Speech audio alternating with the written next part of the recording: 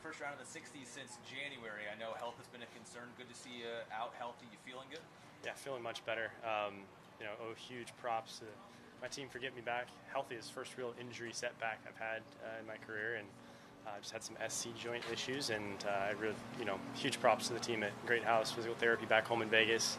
Uh, Dr. Sprouse with Podium Sports Med and, and Curly, uh, Adam Curly out here just for takes a takes a whole team to get you uh, feeling good, and it's uh, the sport can be tough on your body sometimes, and uh, it's a hard game, and it's really hard when you're not 100. percent That's for sure. And your game was in such a good place before the setback. So what was that rev up like to you?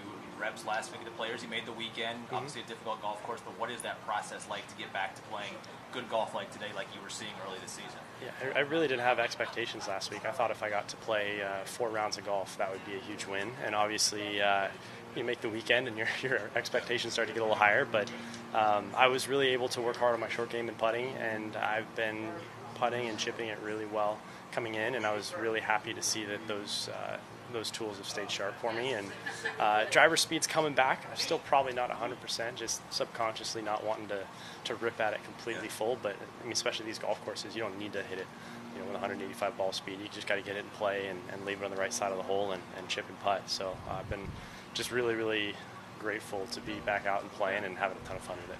And given all that, what is your strategy around this place? Because this is a golf course where you really have to think your way around it, don't you? Yeah, this is the first time seeing it, so I'm really uh, relying hard on Hunter for uh, all of his information and Travis for all the walking he's done.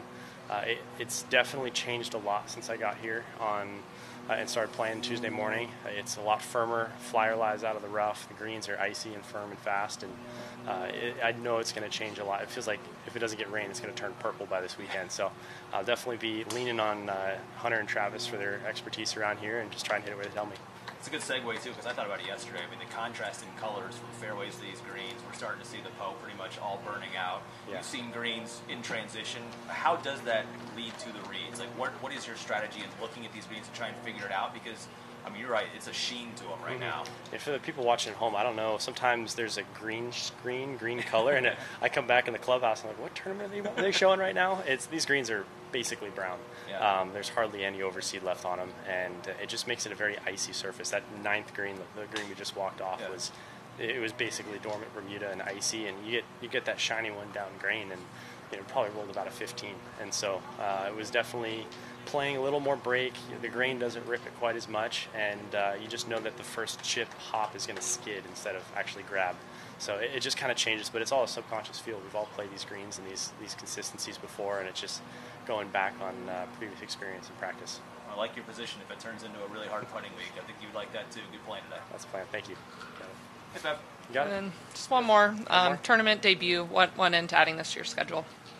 Um, honestly, I've heard from so many players that this is just a fantastic golf course, and uh, I'm a West Coast guy. I play usually play a heavy West Coast swing, and uh, Florida is usually a little different. But everyone kept saying this doesn't feel like a Florida golf course, and um, I, I, got out here. I saw pictures. It kind of looks like the, the, golf course I grew up at, Sharon Heights and, and Stanford, back in the Bay Area. Just tree lines, some elevation change, some sloping fairways, and uh, some kind of small greens and, and target areas.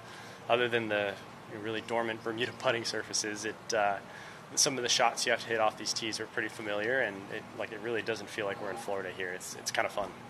So. Was there one shot today or a highlight that stood out to you in your round? I think my best swing of the day was on the eighth hole. It was 241 yards into a pretty good breeze. I was thinking seven wood or four iron, and uh, I honestly thought you know, seven wood with the height and the breeze would go probably about the same distance as the four iron. So I just kind of hit a really strong flighted four and carried it 10 yards further than I even expected to the middle of the green. Was pretty happy with that shot. Well, Thank you. Guys, thank you guys. I do have uh, one other question for you. Yeah.